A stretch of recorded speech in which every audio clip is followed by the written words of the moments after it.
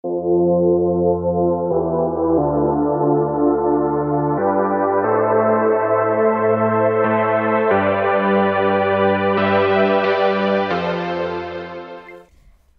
there, it's Stephanie Shea, Chief Astrologer for janspiller.com with your monthly horoscope.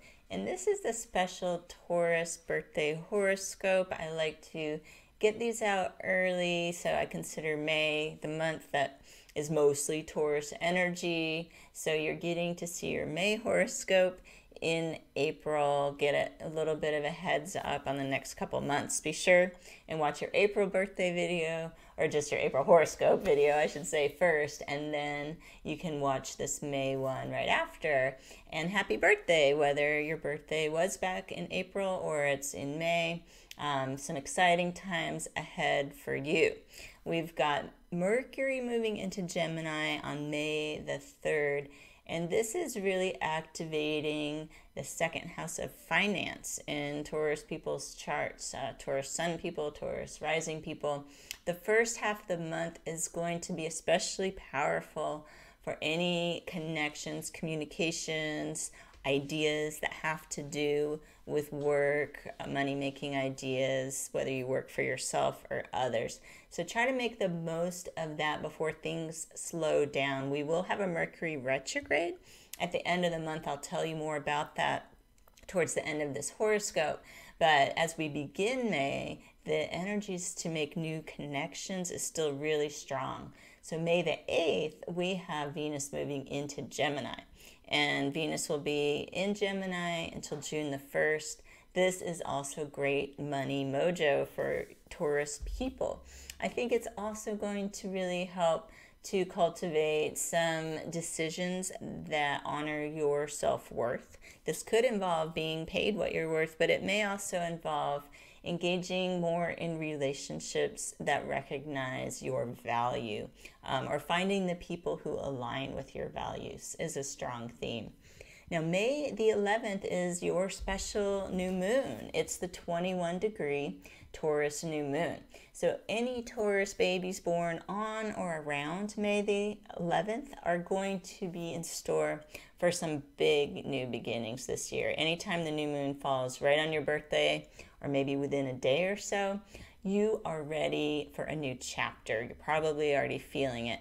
Um, if you happen to be 21 degrees Taurus rising or right around that degree, the same can apply. This could be a big year ahead for you.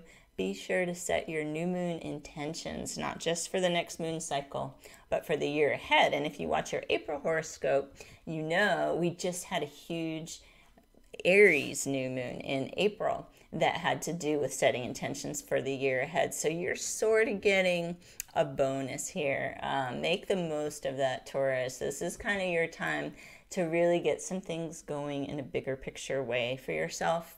Now, on May 13th, Jupiter will enter the sign of Pisces. It's kind of a sneak preview in the sense that over the summer, Jupiter will go retrograde and re enter Aquarius again. So we won't officially see Jupiter in Pisces until December 28th, and then it's going to stay in that sign most of next year. But what we do get is from May the 13th until July 27th, a little taste of okay, here's Jupiter in the first few degrees of Pisces. It's a little magic for some of these big picture dreams you've been setting. I think it's going to be a wonderful time to make some fortuitous connections. And for you, there'll probably be an emphasis on being of service to others and a certain luck that is going to be attracted when you set your intentions in a way that aren't only self serving. All the intentions that have to do with helping other people are going to bring you lots of rewards and benefit. So he can look forward to that. Now, May the 20th the sun moves into Gemini, again, kind of highlighting finances, but at this point, we're getting close to Mercury retrograde. So I would recommend reviewing finances. Um, I would try to avoid big purchases after the 15th because Mercury retrograde can kind of create that buyer's remorse. You may not be thinking as clearly as you think. It'd be better to research a big purchase you may have coming sometimes things break and you have to do it anyway during Mercury retrograde or the shadow of Mercury retrograde. That's fine, but just get a good warranty. I'm pretty practical. You can't stop your life when Mercury's retrograde, but you can try to plan around it. And if you have the power to wait, that's the best bet. Now, there's Saturn stationing retrograde on May 23rd, and it will stay retrograde until October 10th. And anything Saturn is doing this year is affecting Taurus people in a bigger way because Saturn is in Aquarius, which happens to square the sign of Taurus.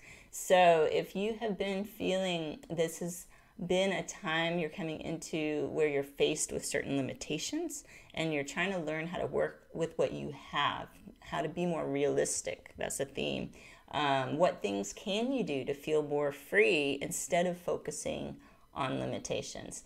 These could be big themes. And if you were born around May 4th, or you have around 13 degrees of Taurus rising, I think when Saturn stations retrograde on the 23rd, you may really be feeling it. And it's a time to reprioritize for yourself. And you can kind of make a game plan of what parts of your life do you want to reconfigure over the next few months while Saturn is in retrograde? Now, we've got the lunar eclipse May 26. This is pretty exciting. You can learn a lot more about this eclipse in another video that I've made about the eclipses of 2021.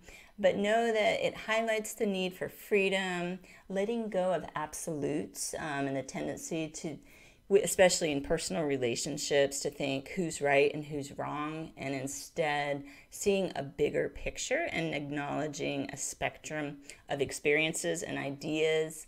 That's just sort of some of the flavor of it. Full moons stir emotions anyway, but when it's an eclipse, it could be intense. So it's always good to have a heads up around the date of these eclipses because you can get some perspective and realize a few days after this full moon eclipse has passed, you'll probably be seeing things a bit more clearly and in more of a balanced way. But whatever comes to light is certainly important and needs to be addressed.